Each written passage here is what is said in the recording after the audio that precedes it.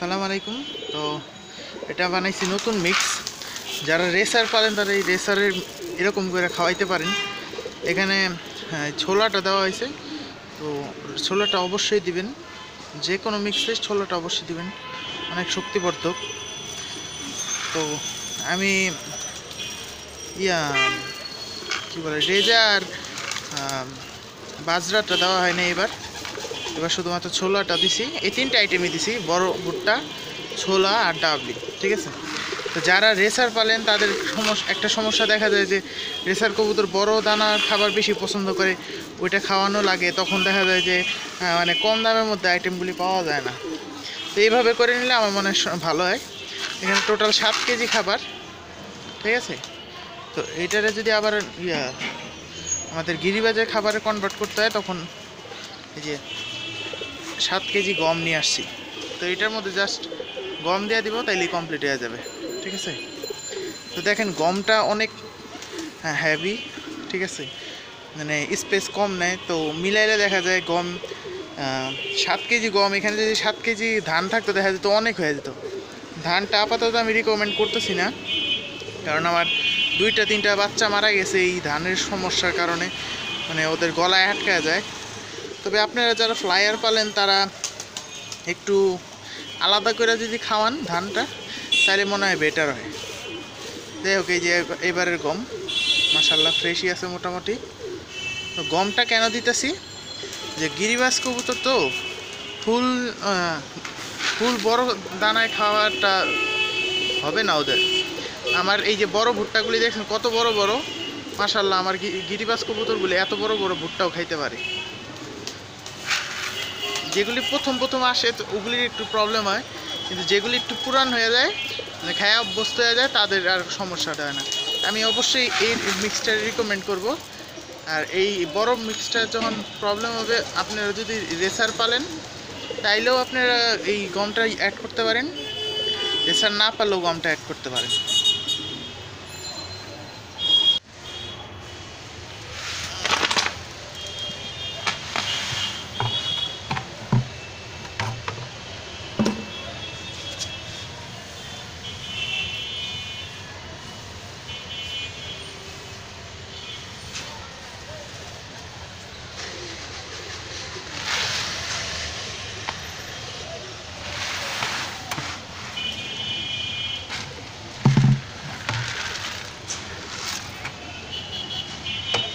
এর আগে অনেকবার করছি।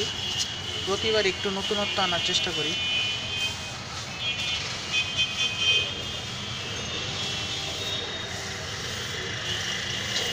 তবে গম কিন্তু প্রায় মানে ওদের ওই মিক্সটাই দিছি সাত কেজি আর গম দিছি সাত কেজি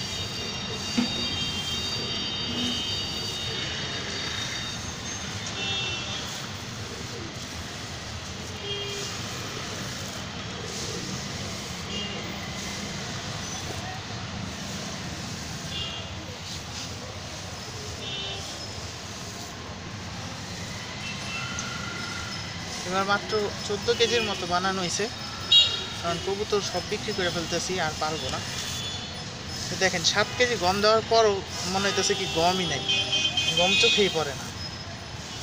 তো সবার কাছে একটা রিকোয়েস্ট থাকবে যে, কেউ মানে শুধু গমের উপর কবুতর পালবেন না। কারণ দেখেন এই যেগুলি দেওয়ার পরে আপনার যে ঘনত্বটা তা কমে গেছে, ঠিক না?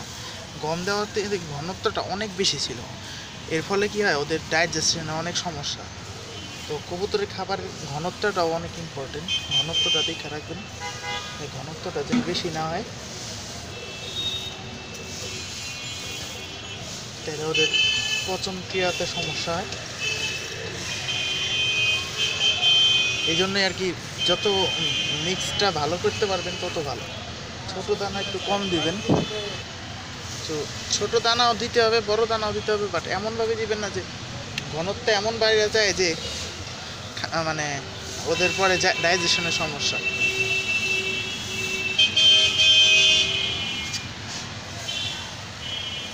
এরকম আমি ফার্স্ট টাইম করলাম এই জিনিসটা। এর আগে অনেকগুলি মিক্স করছি, প্রায় পাঁচ ছয়টার মতো। আপনারা হয়তো বা দেখছেন। এর আগেও আরও মিক্স করছি। ওগুলি ভিডিও করা হয় নাই। আশা করি এবারের মিক্সটা খুব ভালো হবে। এই মিক্সটা এরকম করার কারণ ঠিক হলো গতবার আমার কিছু কবুতরের একটু সমস্যা হয়েছিল ধানটার জন্য। যারা ফ্লাই করান, তারা ধানটা অবশ্যই ইউজ করবেন আলাদাভাবে। তাহলেই ভালো হয়। আমার কবুতর একটা জিনিস দেখা যায়, ওরা ছোটো খাবারটার চেয়ে বড় খাবারটা বেশি পছন্দ করে। আমার কাছে আমার বড় খাবারটাই বেশি ভালো লাগে। আপনাদের কবুতরের প্রতি করবে খাবারটা বেশি পছন্দ করে। ছোটোবেলা থেকে যেগুলি খাওয়াবেন, ওগুলি ওরা পছন্দ করবে।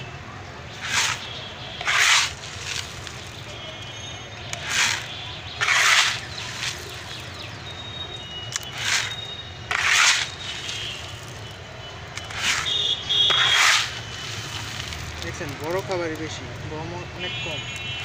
অবশ্য গম কিন্তু ওজনের সমানই দেওয়া হয়েছে।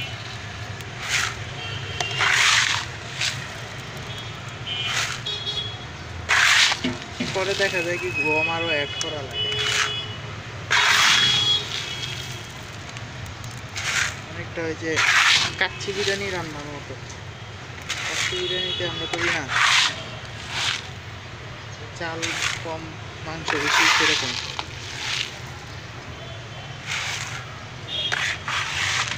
বড় টানা করব আস্তে আস্তে। গম সেম পরিমাণে দেওয়া হয়েছে।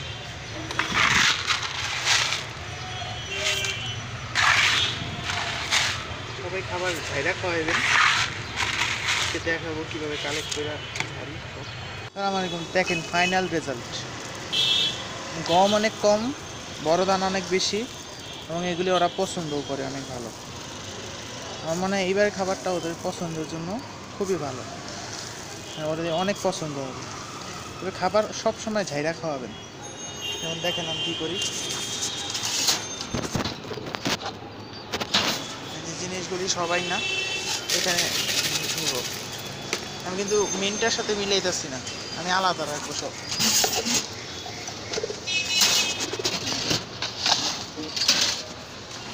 এই দেখেন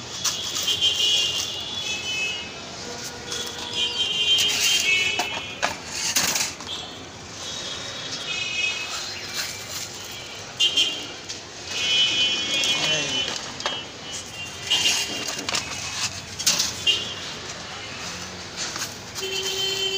এক হাতে সব করা লাগে তো একটু কষ্ট হয়।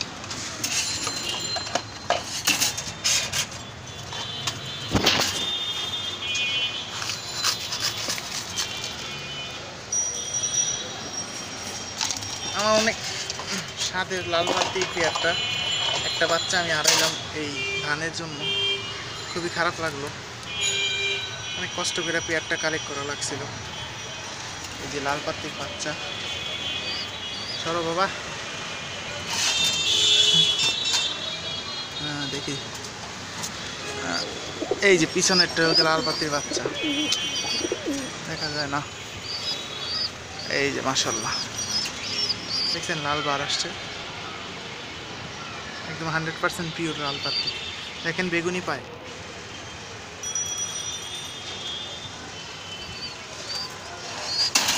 আমার অনেক ইচ্ছা ছিল ফার্স্ট বাচ্চাটা রাখা দেওয়ার মানে পেয়ারটা। আরেকটা মারা গেল, খুব খারাপ লাগল। যাই হোক এখন মেইন কথায় আসি। সবগুলি নেওয়া হয়েছে? হ্যাঁ, সব নেওয়া হয়েছে।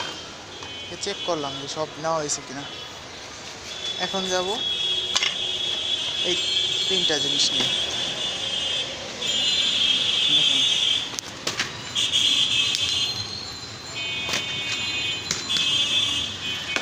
ফার্স্টে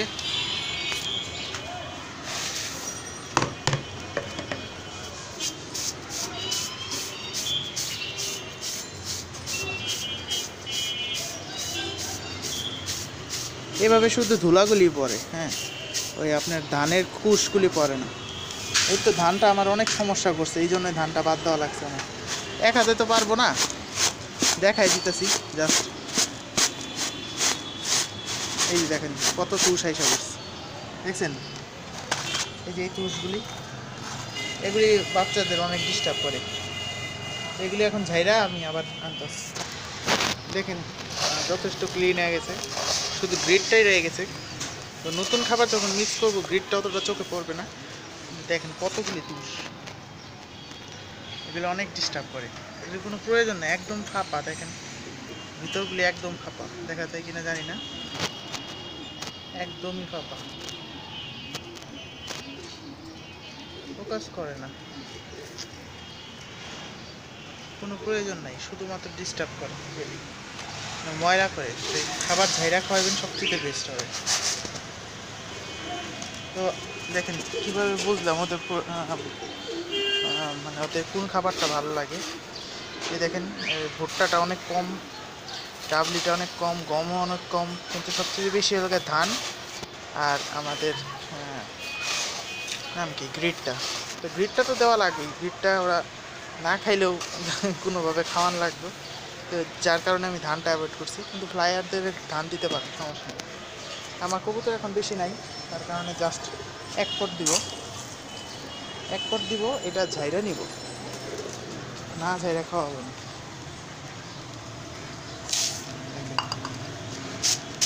এটা কিন্তু আমার আর দুই, চালনি দিয়ে ঝাললেই হবে। এতে খালি ধুলাগুলি চলে গেলেই আমার কাজ হয়ে গেল। আর এক্সট্রা যেসব তুষের মতো জিনিসগুলি থাকে।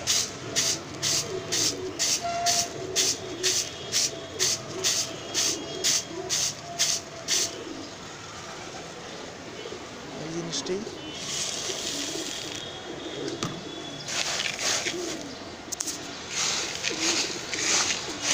দেখছেন ট্রিট সব মিলে গেছে।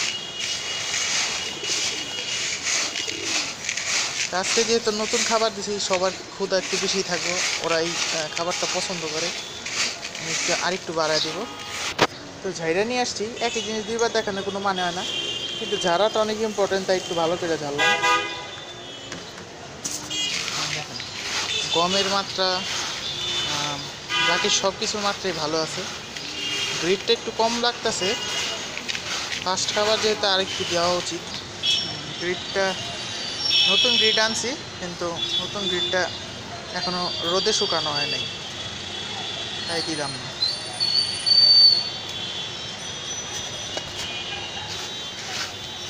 যেহেতু এখন আমার কাছে ফ্লায়ার নাই, সব বিক্রি করে ফেলেছি। যা আছে তাও ইনশাল্লাহ আস্তে আস্তে বিক্রি হয়ে যাবে। এটা আমি ভাবলাম যে যতদিন আছে, একটা ভালো একটা খাবার দেই। তো হইতে পারে এটা আমার লাস্ট লাস্ট বারের মতো ভিডিওটা। সবগুলি ভিডিও আমি নিজে একলা করছি। তো ভিডিও কোয়ালিটি একটু খারাপ লাগতে পারে। আপনারা প্লিজ একটু কনসিডার করবেন ব্যাপারটা।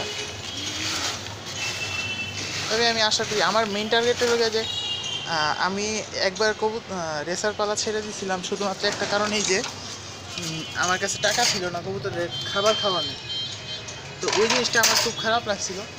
তখন থেকে আমি চেষ্টা করলাম যে কি করা যায় যাতে কম টাকার মধ্যে বা কম দামের মধ্যে কবুতরগুলোর একটু ভালো মানের খাবার দেওয়া হবে।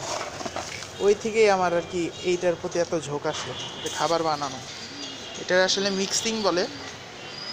যে আপনার খাবারের মিক্সটা কীরকম? কবুতরগুলি কী যে চেষ্টা করতেছে? খাবারের জন্য। তো নেক্সটে আবার ভিডিও হলে অবশ্যই আমি জানাব যে এই মিক্সটা কীরকম ছিল। আগের মিক্সড আগে যে মিক্সটা বানাইছিলাম, ওই মিক্সটা তো অবশ্যই খুবই ভালো ছিল। কিন্তু এই মিক্সটাও খারাপ না। দেখেন, বড় দানাগুলিও খাবে ওরা, দেখছেন? ইভেন দেখা যায় যে বড় দানাগুলি আরও তাড়াতাড়ি খায়। সবার আগে ওরা বড় দানাগুলি খায়, দেখছেন? এই যে দেখেন, বড় ভুট্টাটা খাইতেছে আগে, দেখছেন? বড় দানা ওরা অনেক পছন্দ করে। দেখেন দেখেন, প্রত্যেকটা বার ভুট্টা আর বড় ইয়াটা। তো এই কারণে আমি বলতেছিলাম যে আমার জন্য বড় দানাটা অনেক জরুরি হয়ে যায়, অনেক কার্যকরী হয়ে যায়। এবং দেখেন লাস্টে যখন ওদের খাওয়া হয়ে যাবে, তখন বাচ্চা খাওয়ানোর জন্য গমটা খাবে। তা আমার মনে হয় মিক্সটা খুবই ভালো আছে। মানে আমি তো, কি বলব আসলে অত এক্সপার্ট না। যারা অনেক ভালো মানের কবুতর পালে তারা আরও ভালো জানাইতে পারবে। বাট আমার কাছে মনে হয় যে এই মিক্সটাই বেস্ট সবার কাছেই সবার নিজের জিনিসটাই সবচেয়ে ভালো মনে হয়। তবে কবুতর তো এক দুই দিন ধরে পালি না। যত দিন ধরে পালতেছি মনে হইতেছে যে হ্যাঁ নর্মাল একটা তিরিশ টাকা দামের গম দেওয়ার চাইতে তিন চারটা আইটেম যদি মিক্স করা যায় কম দামের মধ্যে মানে বেশি ভালো। যেমন এখানে আমার ছোলাটা পড়ছে পঁয়ষট্টি টাকা কেজি। বড় ভুট্টাটা পড়ছে তিরিশ টাকা কেজি। আর ডাবলি দুই কেজি পড়ছে পঁচাত্তর টাকা। ডাবলি দুই কেজি পড়ছে পঁচাত্তর টাকা। তো সব মিলে আপনারা হিসাব করে দেখতে পারেন, এখন টোটাল আনছি গিয়ে পনেরো কেজি, সাত কেজি গম, চার কেজি বড় ভুট্টা, এক কেজি ছোলা, দুই কেজি ডাবলি। আপনারা হিসাব করলে বুঝতে পারবেন যে কীরকম মানে প্রাইসটা কীরকম পড়ে আমি যতদূর মনে করি প্রাইসটা অনেক কমই পড়ে। ছোলার কারণে প্রাইসটা একটু বাইরে যায়। কিন্তু তারপর ওইটা মানে যখন আপনারা মানে দেখবেন যে ছোলার গুণটা অনেক বেশি, ওরা মানে ওটার বেনিফিটটা অনেক বেশি পাইতেছে, তখন মনে হবে যে না, আমি যেই মিক্সি করি, এক কেজি ছোলা দিলে ভালোই হয়। যদি দশ কেজিতে আপনি এক কেজি ছোলা অবশ্যই দিবেন, বিশ কেজিতে দুই কেজি ছোলা অবশ্যই দিবেন। এই ছোলা, বাজরা, এগুলি অনেক শক্তিবর্ধক হ্যাঁ? এখন টাকার জন্য ওগুলি ছাইরা দিবেন না তাহলে আবার সমস্যা। মানে শক্তিবর্ধক জিনিসগুলির অবশ্যই খাওয়ানো উচিত। যেমন আমরা যখন মানে রেসিং নিয়ে গবেষণা করতাম, তখন দেখতাম কি যে বাচ্চা আর একটা হলো ফ্লায়ার হ্যাঁ? ফ্লায়ারদের প্রয়োজন হলো গিয়ে কার্বো প্রোটিন আর বাচ্চাদের প্রয়োজন হলো গিয়ে কার্বোহাইড্রেট ঠিক আছে? কার্বোহাইড্রেট বেশি হলো গিয়ে আপনার, ইয়া ডাবলিতে, আর প্রোটিন বেশি হলো গিয়ে আপনার পপকর্নে তাই আপনার ফ্লায়ারদেরকে আপনার পপকর্নটা দেওয়া জরুরি আর বেশি দেওয়া জরুরি আর বাচ্চাদেরকে আপনার ডাবলিটা বেশি দেওয়া দরকার। এগুলি আমি সব কিছু মিক্স করে নিছি। মানে এই দুইটা আইটেমই মিক্স করে নিছি যে কারও কোনো কিছুতে ঘাটতি পড়ে না জানি। যেমন এই দুই এই দুই আর এই দুই, এই চারটা যে পরিমাণে ফ্রাই করে মানে কি বলব সেই দিন ছেড়ে গেছি, ওরা ওই দিন রাত্রে নামে নাই, পরের দিন দুপুরে আসছে, বুঝছেন? তো এরকম ফ্রাই করে মানে ওদের মধ্যে শক্তিটা ভালো থাকে। এবং অনেক দিন ধরে এই যে এদের থেকে বাচ্চা কাচ্চা করতেছি, ঠিক আছে? নিজেদের বাচ্চা না হইলেও আরেকজনের বাচ্চা খাওয়ায় এবং বড় করে, দেখা যায় কি বাচ্চা বড় করা অবস্থাতে ওরা ফ্লাই করতেছে। দেখেন কত ছোট বাচ্চা খাইতেছে নিজে নিজে। এই যে এই সিঙ্গেল বাচ্চা যেটা খাইতেছে এটা ওদের অরিজিনাল বাচ্চা। আর পিছনে যেটা, ওইটা হলো আপনার পাত্তি লাল পাত্তির বাচ্চা। ওদের ডিম আবার এদের দিয়ে ফিট- ফুটাইছিলাম। এরপর সোয়াপ করে দিছি। এর আগে সোয়াপিং এর উপর একটা ভিডিও করছি, দেখেন। এটাই, দেখেন কীরকম পাগলামি করে। তো একটা বাচ্চা মারা গেছে, আর এখানে একটা বাচ্চা সিঙ্গেল ছিল। আমি কই, দুইটা বাচ্চা এক জায়গায় করে দেই তাহলে ভালো হয়। অ্যাটলিস্ট একজন ফ্রি হয়ে গেলে আমি একজোড়া ফ্লায়ার বাচ্চা পাইলাম। এটা খুব ভালো ফ্লাই করে, এই বাত- কবুতরগুলি।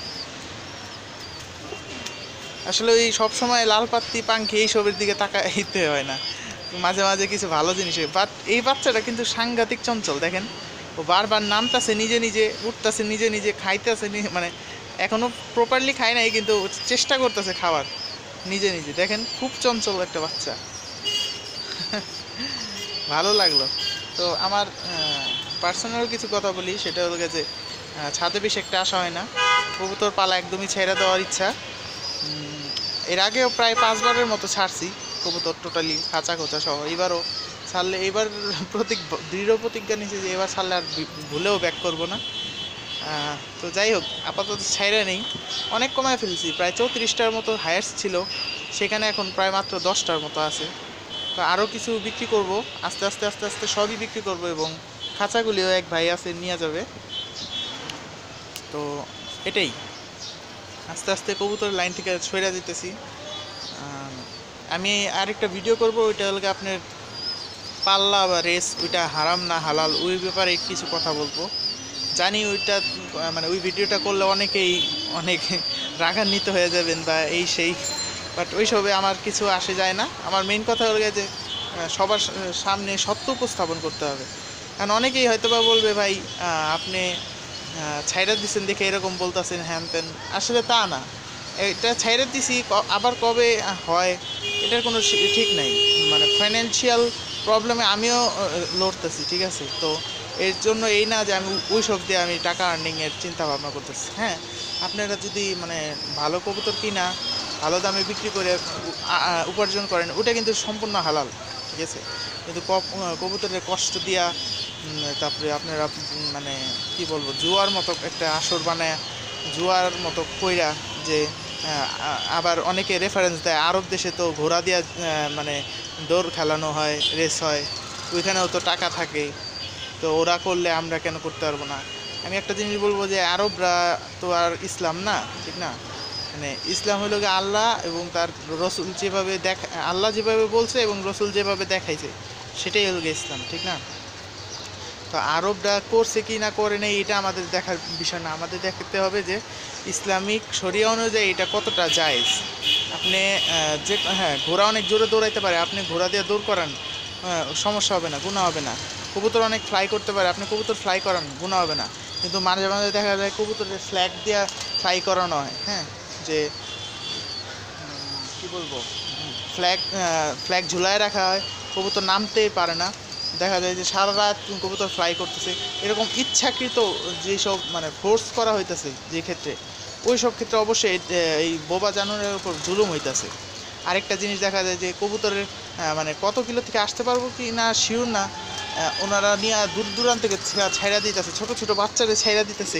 শুধুমাত্র নাম করার জন্য কি যে আমি ইনটেক এত কিলো থেকে ছাড়ছি ইনটেক কত কিলো মানে কবুতর যে একটা যান এটারে মানে তারা স্বীকার করতে রাজি না। আর ডিম বাচ্চার কেস তো আছেই, বিশাল বড়। তো যাই হোক, এগুলি সব কিছুই আমি গুছায় একটা সুন্দর ভিডিও করার চেষ্টা করব। আশা করি সবাই সাপোর্ট করবেন, কারণ ব্যাপার হয়েছে কি মানে বর্তমান পরিস্থিতি এরকম যে কেউ যদি একটা হক কথা বলে, তখন তার শত্রু বাইরে যায়। আশা করি সবাই সাপোর্ট করবেন, ইনশাল্লাহ আপনাদের সামনে উপস্থাপন করব। তো আজকের জন্য এইটুকুই, সবাই দোয়া করবেন। সালাম আলাইকুম।